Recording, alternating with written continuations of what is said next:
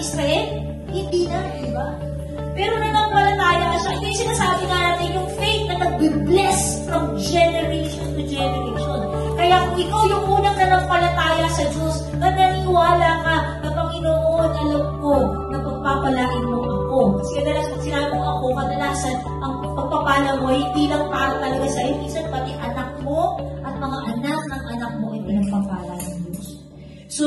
sometimes, katulad ni Abraham, siya lang ang nanampalataya, pero hindi lang siya, kundi si Isaac, si Jacob, and from generation to generations, sila ay pinagpala ng.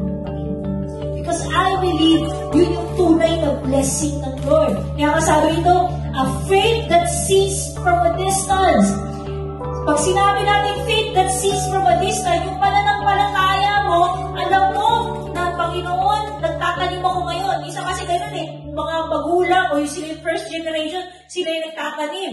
Pagkatapos, ang kadalasan umaani na lang ng blessing yung mga anak because of one man's faith. At sometimes kayo rin, alam niyo po ba, ang yung pananampalataya sa Diyos minsan, pinagpapala ang mga nagpapala na susunod ng pagpapala niya ang inyong mga generations. They will become a generations that worship and have faith in God. Kaya ang tunay na faith is a faith that sees from a distance. Kaya sabi ng Hebrews 11.13, all these people died. Sabihin namatay na si Abraham, si Sarah, namatay na rin si mga anak nila, yung mga sila Jacob, pero sabi rito, still believing what God has promised them.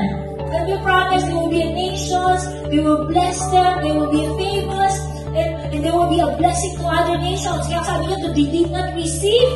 Lahat yung mga tao na yun, what was promised.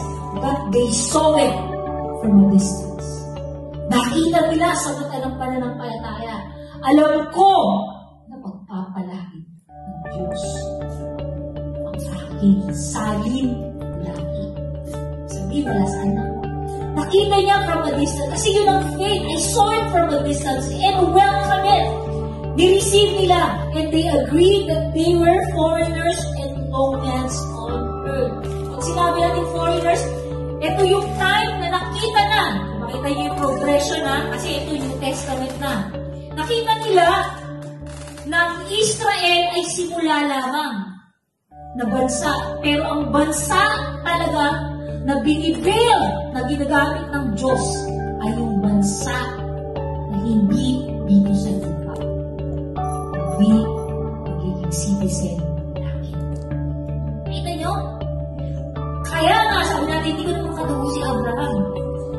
Bakit ko siya naging father of faith? Dahil sa ating pananampalataya na inherit natin yung faith na yun and we belong to those citizens na mga mananampalataya na mag-i-inherit na kalagayan. So makita dito, sabi nila, ang buhay nila, tinignan nila na ang buhay nila dito sa lupa ay panlupa lamang.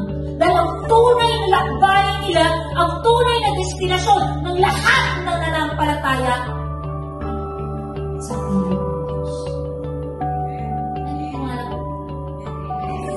Kaya nga, ang buhay natin dito, ibuhay lang natin para ma-enjoy natin.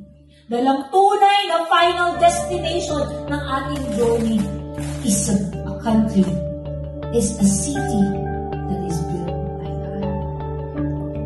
Kaya nga, every one of us here, ng lalaki.